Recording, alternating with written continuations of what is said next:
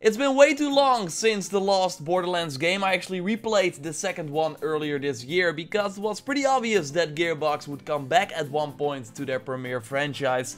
You can by the way check out the Handsome Collection that includes the second game and also the pre-sequel via PlayStation Plus. So if you got that, you can download it for free. Anyway, we got to play Borderlands 3 at the 2K office in the Netherlands and it looks to be an improvement in almost every way compared to the previous titles, while still being true to the linear story heavy structure that you can complete alone or with up to 3 friends. Let's take a look at some things that this game has to offer in this video. Would of course be awesome if you could leave a like on the video as it shows your support and let's go. Borderlands is of course all about the bazillion of guns and during the play session we picked up some awesome firepower from the different manufacturers that all have special firepower like the Atlas for example can put a tracker on the enemy that will cause your bullets to follow the target. So you can just shoot next to the enemy and the bullets will still go to that enemy. I also love the red and advanced look of this gun. Or the awesome Torgue gun that is not that impressive when you just shoot the secondary bullets,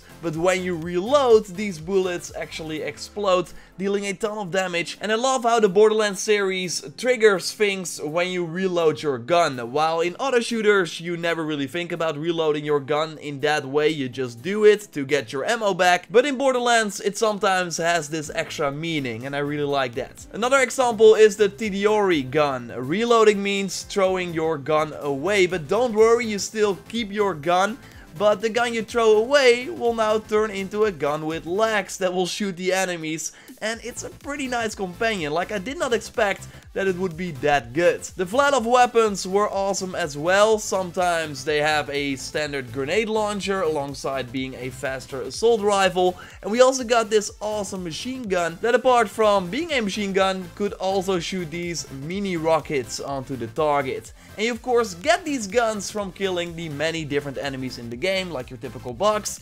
bandits, big robots and also this crazy brain guy for example that was one of the early bosses and dropped a ton of loot. So then you will be staring at this pile and trying to pick up the best things that are of course indicated by the rarity colors. And don't worry when you play with friends because they cannot take your loot away thanks to the new changes compared to other Borderlands games. If you want to be nostalgic though, then you can always play the classic way and fight for the best loot that has dropped. And speaking of the best loot, those are of course the legendary items and we already found two while playing playing.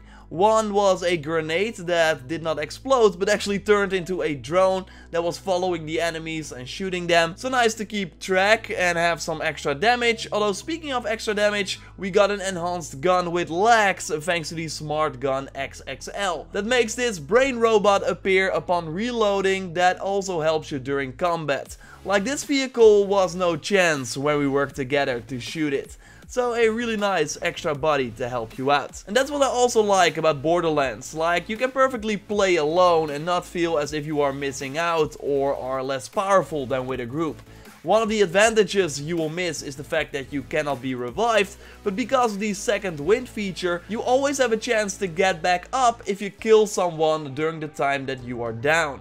But yeah, not dying is of course better and apart from the weapons and the gear, you can also enhance your character via skill points and that will be really important as well.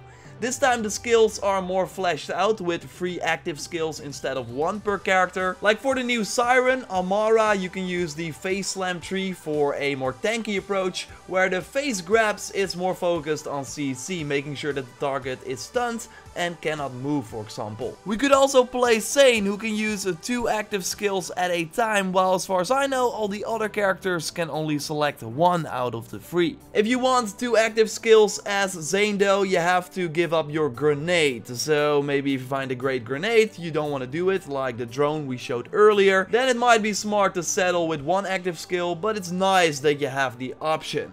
The skills that we could use for Zane were a drone that would poke the enemies and directly after that you see us throw down the shield that you can actually also pick up to protect you from the enemies. Picking it up will also let you move with the shield, so that is really nice. You can also throw down a clone of yourself that will then get some attention and it's kind of the signature move that we of course saw Zero use in the previous games as well. Amara has some awesome skills too, like this grab, uh, so it creates an opening, for example, against this shield guy.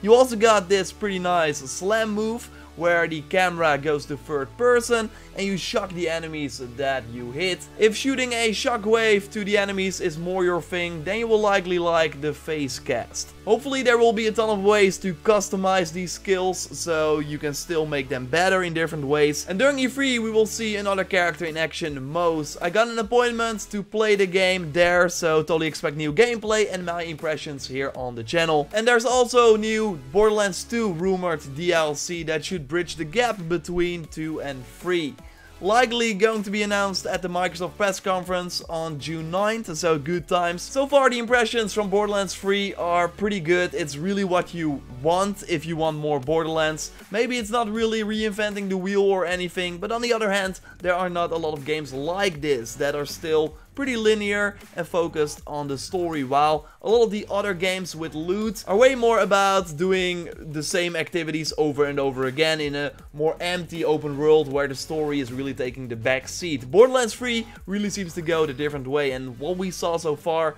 has been pretty interesting, so can't wait to see more of it. Subscribe for more Borderlands 3. Would be awesome if you could leave a like on the video again if you haven't already. Check out my previous E3 2019 video and for now I'll speak to you next time. Goodbye.